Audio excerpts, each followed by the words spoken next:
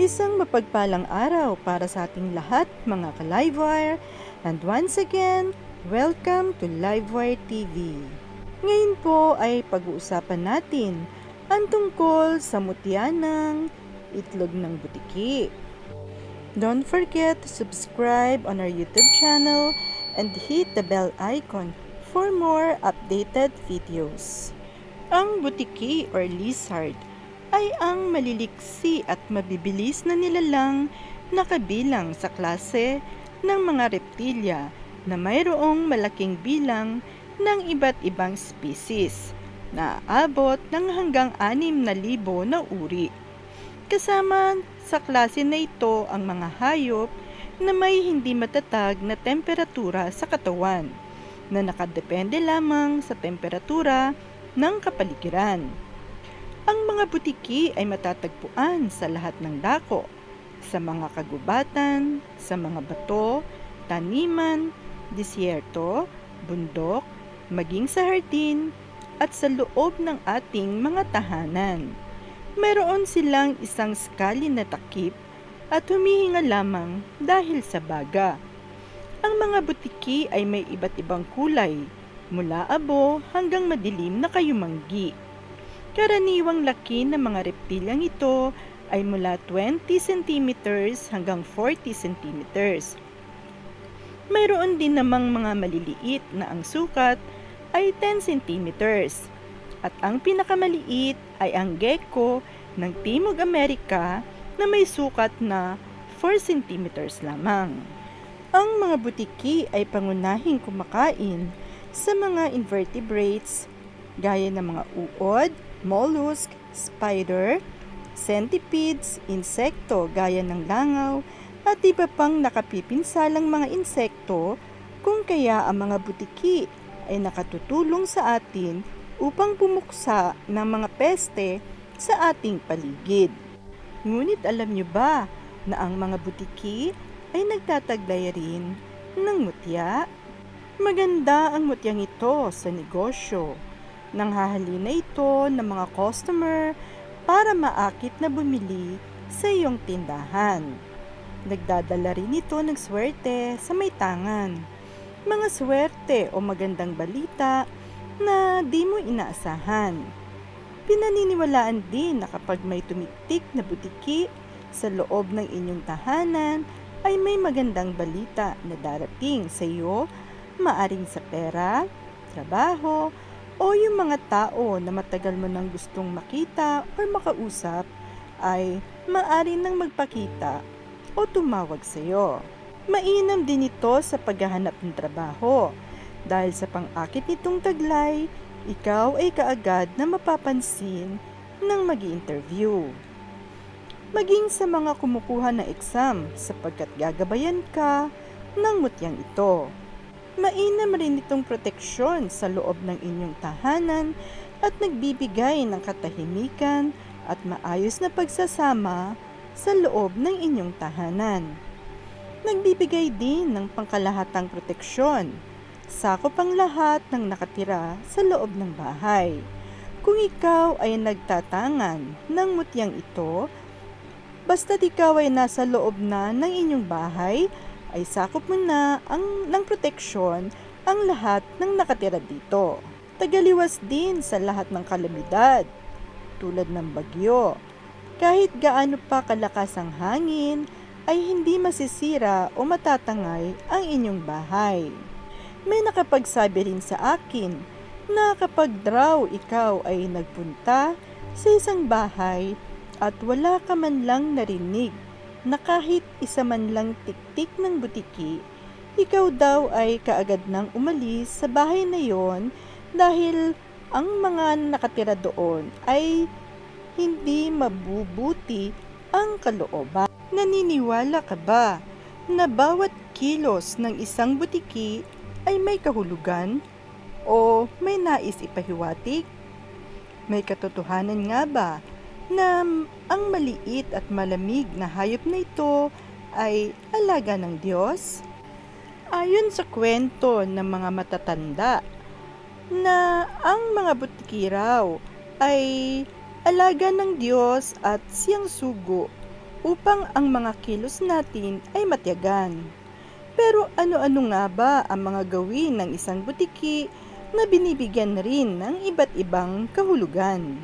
Isa na rito ang pagtuktok ng butiki na ang ibig sabihin raw ay mabubulilyaso ang iyong mga plano o may mga nais kang hindi mo magagawa. Ang paghuni o pagtiktik naman ng butiki sa iba't ibang parte ng inyong bahay ay may kahulugan din. Tulad na lang kapag sa kusina mo ito narinig, maghanda ka na ng pera dahil may pagkakagastusan ka. Kung sa kwarto naman ay magkakasakit ka o sinumang miyembro ng iyong pamilya. Kung ang huni naman ay narinig mo sa pintuan, ay may bisitang paparating. Pag sa bintana, ay isang sulat naman ang darating. Kapag ito naman ay nasa labas ng pinto, na halimbawa ay nasa paso o anumang bagay na nasa harapan ng bahay nyo o dili kaya ay sa may terrace, papalabas din ng pera. Ang ibig sabihin ay mayroong manghihiram o mangungutang sa iyo. Kung sa salas naman ay kinakailangan mong magpahinga. Kapag naman daw ikaw ay naiputan ng butiki o nahulugan ng dumi nito, halimbawa ay sa iyong kamay, swerte raw ito. May biyaya o oportunidad na paparating sa iyo. Kung sa ulo naman ay may mga bago idea kang maiisip. Kung sa balikat mo ito bumagsak, ay may paparating kang pasanin, kung kaya mas mabuting alisin mo ito agad at kumatok ka ng tatlong beses sa kahoy upang hindi ito maganap. Kung makakakita ka naman ng butiki na nadikit sa isang madikit na bagay, o kaya naman ay naipit at hindi raw makaalpas, kapag tinulungan mo ito ay papalitan niya ng swerte bilang pasasalamat. Ilan lamang ang mga ito sa sinasabing ibig ipahiwatig ng isang butiki.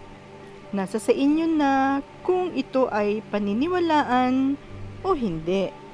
Alam ba ninyo na maaring gawing pangpaswerte sa negosyo at pera ang butiki na may dalawang buntot? Ang pangyayaring ito ay isang uri ng genetic disease. Ngunit sa iba, ito ay pinaniniwalaang pangpaswerte. Kaya't kung ikaw ay papalarin na makakita o makahuli ng butiking may dalawang buntot, kunin ang buntot nito na hindi na kinakailangang patayin dahil kusa namang napuputol ang buntot ng butiki kapag hinawakan. Patuyuin sa araw at saka itago sa pulang tela o pouch. Ito ay iyong itago sa iyong wallet o lagayan ng kita bilang pangpaswerte. Paalala lang po na ito ay pawang mga gabay lamang nasa sa atin pa rin po ang ikauunlad ng ating pamumuhay. Samahan lamang po natin ng sikap at tiyaga at ang matibay na pananalig natin sa buong lumikha. Shoutout po muna tayo mga ka-livewire kina Ana Martinez and family, Sofia Beltran, Cecil Siasat, Sofia Joy Flores, Eric Flores at sa kanyang may bahay, Rodel Alfonso and family, Robert Visida, DJ Lily G, Tess Villota, kay Mercy and Angelo Tolentino, Ivy Felizar, kay Jeric Minay, Christopher Damasco, Nemesio Serrano, Antingeros ng Palawan, kay Alpha Mendoza, Annalisa Naldo, Leaper King Loaf, South Vibes uh, Zumba Group, kay Abdul Karim Lopez, Jello Blue Silver Zero, Emma Garrido, Good Wealth, kay Miel Kian Lamoste, Isabelo and Pinky Bautista and family,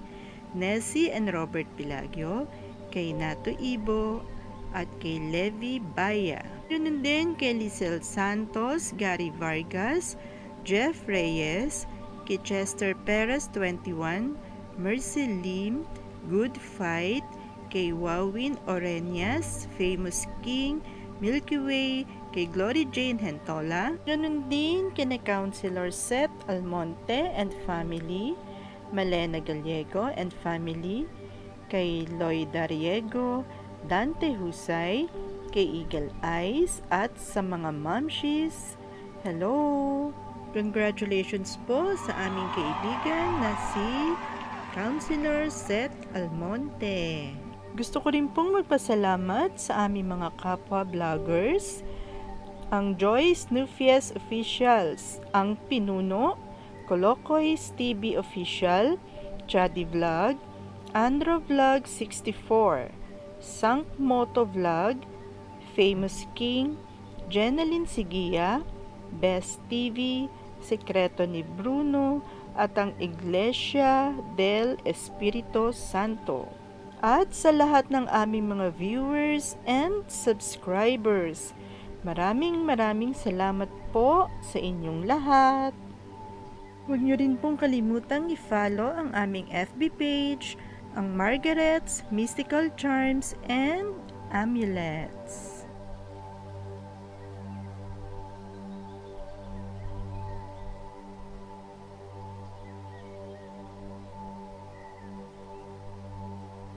Thanks for watching. Bye!